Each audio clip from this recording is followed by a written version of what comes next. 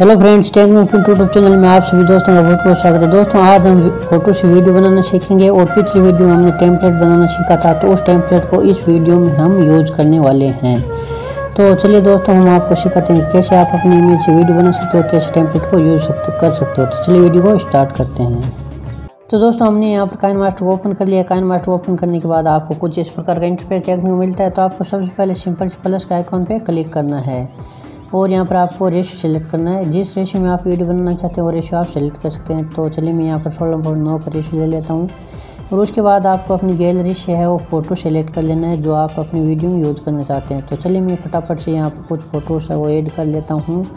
और photo add करने के बाद आपको सिंपल से राइट पे क्लिक कर देना है और इस फ़ोटो के लेयर के फ़र्स्ट में आ जाना है।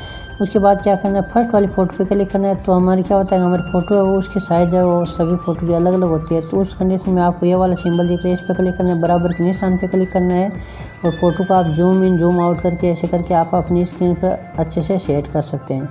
फिर राइट पे क्लिक कर देना है, फिर सेकंड वाली फ़ोटो पे क्लिक करना है, और सेम प्रोसेस करना है राइट पे बराबर के निशान पे क्लिक करना है। और इसको आप जूम इन जूम आउट करके, इस प्रकार से आप सभी फ़ोटो को इस प्रकार से आपको एडजस्ट कर लेना है। तो चलिए मैंने यहाँ पर फटाफट में आपको फ़ोटो को एडजस्ट कर लेता हूँ। और उसके बाद आपको क्या करना है, जिस प्लस का आइकन देख रहे हैं, इस पर क्लिक करना है और यहाँ पर आपको कोई भी इफ़ेक्ट डाल देना जो भी इफ़ेक्ट आपको पसंद आए तो चलिए मैं यहाँ पर फटाफट से इफ़ेक्ट है वो डाल देता हूँ।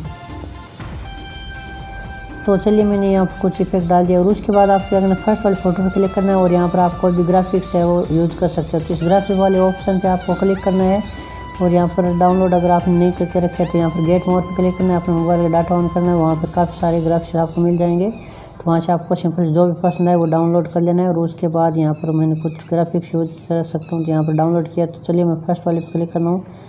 और इस प्रकार का आपके जितने भी फ़ोटो आपने ऐड किया है, सभी में आप ग्राफिक्स यूज़ कर सकते हैं। तो मैं यहाँ पर फटाफट कुछ है, ये ग्राफिक्स है, वो ऐड कर देता हूँ। और उसके बाद आप क्या करना है फ़र्स्ट में आ जाना है लेयर पे जाना है। लेयर पे जाने के बाद मीडिया में जाना है और आपने जो टेम्पलेट वीडियो बना के रखा है तो वो टेम्पलेट वीडियो आपको सेलेक्ट कर लेना है। तो चलिए मैं ये वाला सेलेक्ट कर लेता हूँ और यहाँ पर राइट इस वाले ऑप्शन पर आप क्लिक करना है और यहाँ फुल कर देना है स्क्रीन पे। राइट पे क्लिक करना है, फिर इस लेयर पे क्लिक करना है और सबसे नीचे जाएँगे तो आपको यहाँ पर एक ऑप्शन दिखेगा ब्लेंडिंग का।